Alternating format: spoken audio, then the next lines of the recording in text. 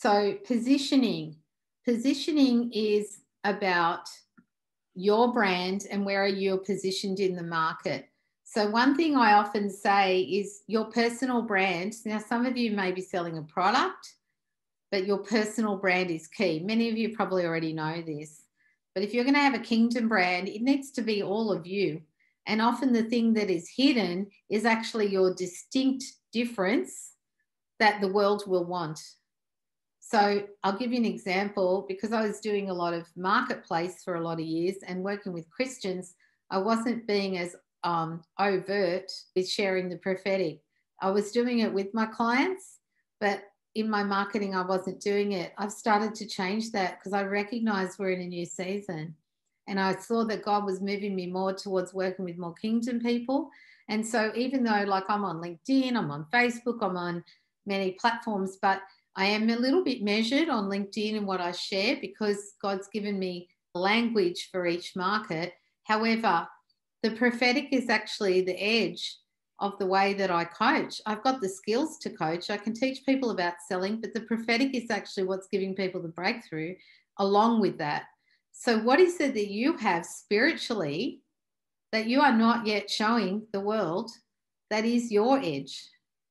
And how much do you love brand you? Remember, I said yesterday that God showed me people know how to love me, people know how to love their people, but they don't know how to love themselves enough to receive.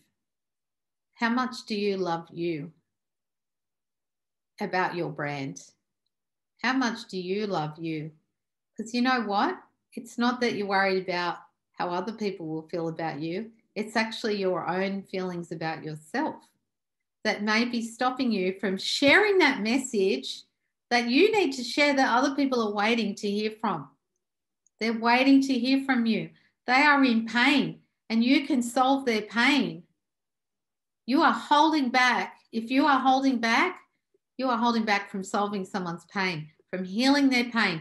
And their pain could be that they don't know how to do something technically and it's frustrating them that much and they're losing business because of it. What is the cost to them of you not giving them what you need? What is it costing them emotionally? What is it costing them financially for you to not put yourself out there and start to share with the world?